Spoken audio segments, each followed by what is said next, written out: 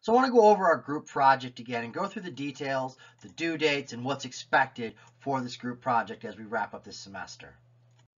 So as we recall our overview for this project, we were going to form our groups. So we've already done this. You've already formed your groups, turned them in via Blackboard assignment of four to five people a little over a month ago. So you guys have those groups you've been working on your project. So within this project, you needed to pick a practical application. Again, this could have been from anything we did from the semester, similar to a project you've seen in the book, lectures, exams, but do not copy it, make up your own. So from there, what you wanted to do was you're creating your problem was to have a diagram illustrating the problem and then write out a problem statement that tells what's going on in the problem and provides whoever else is solving your problem with all the necessary information in order to solve that problem. Then what you're going to do is part two of the assignment that's due this week within Module 12 is go through and solve your problem. So you're going to turn in the problem that you created and your solution to that problem there. And this is how we're going to be grading this. The rubric for this is going to be based upon did you clearly label what you're doing each step along the way as you provide us with your solution? Is everything neat and organized? Did you show all the general equations? Did you explain your thought process and how you're going to solve each step of the way and write that out specifically? Did you clearly define and label your chosen coordinate system? Did you draw out your free body diagrams if necessary? And did you use the correct units? So this project will be graded and count towards your group project section for your grade. So both the creation of the problem and the solution to the problem will be evaluated. And there's a rubric that's assigned with both the creation of the problem and as well as the solution to the problem on Blackboard. So deliverables, so again, this week within your Module 12, you're going to turn in your problem and your solution, and those are going to be turned in through Blackboard through an assignment section. Then from there, the next step is going to be grading the other group's solution to your problem. So that will be within Module 13. And you're going to grade them upon that 10-point grading scale that we've used for your homeworks and your exams. And last, we're going to go over uh, the presentation for your solution. So this is where you're going to record a video going through your solution step by step and explaining, explaining your thought process, relating it back to the textbook, relating it back to governing equations, just like you see in my lecture videos each week. So break this group project down into a couple different steps. Step one, you've already completed this. You formed your group a little over a month ago, four to five people per group. You put in the name of your group and each of the group members. So you've already done this. This is completed. And hopefully you've been working hard on creating your problems and your solutions since you formed your group. So the second step was to create your problem. So that's what you're doing again that you're turning in this week here. You create the problem, again, something similar to you've seen in the book, lectures and exams, but not one that you've copied, something you've made up on your own. So that'll be part of your grade is did you actually make this up on your own? It's not something you took from somewhere else.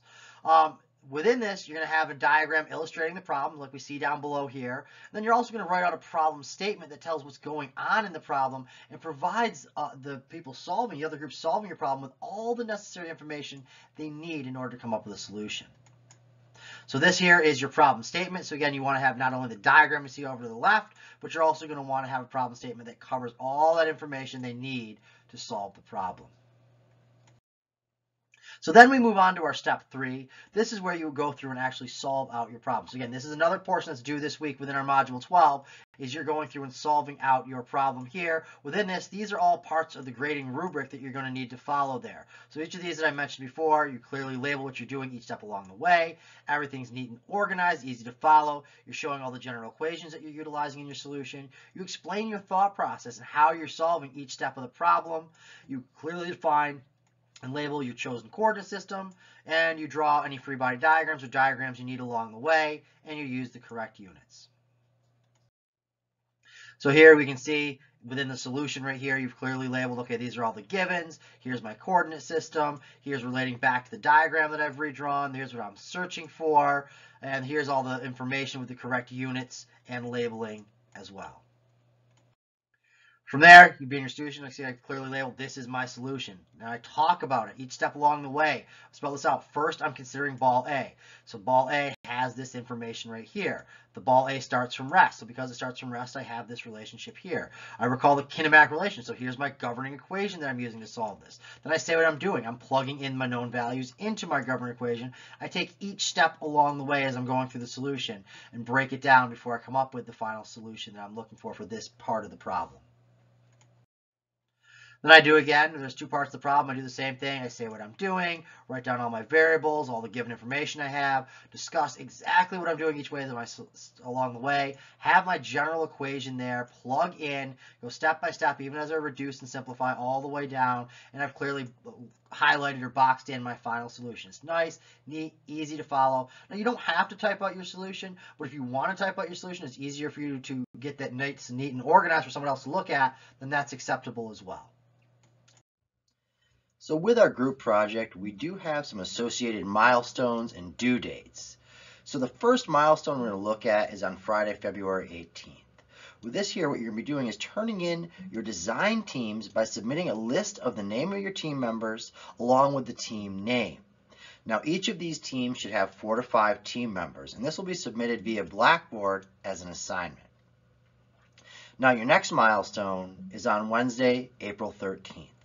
For this milestone, you'll be submitting your group's problems and your solution to the problem that you created. Again, this will be submitted via Blackboard assignment.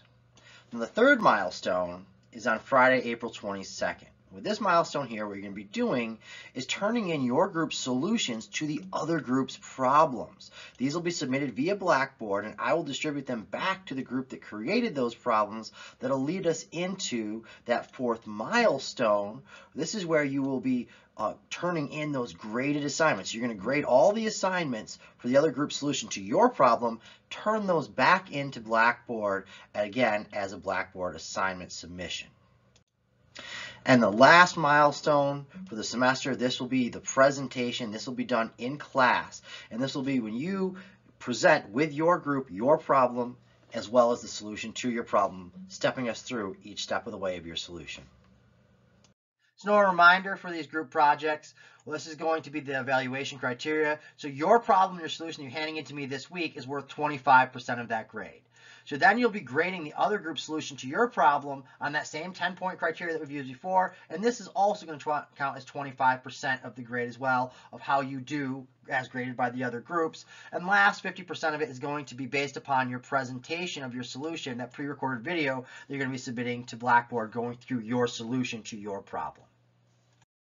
So now as you're grading the other group's solution to your problem, I want you to go through using the same grading criteria that has been used for the homeworks and exams that you've turned in this semester. So we're to use the same 10-point scale. We give two points for the format. Did they provide their name, the name of their group, the givens, the finds, the appropriate coordinate system, any labels that are necessary? Is it neat? How easy is it for you to follow through their work? And then four points for the correct method, approach, governing equations. And last, two points, did they get the answer correct? So in summary for these group project teams and this group project, each team is responsible to create one problem as we described above.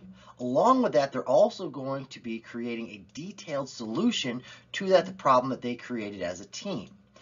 The teams will then submit their problem and the solution to their problem via a Blackboard assignment.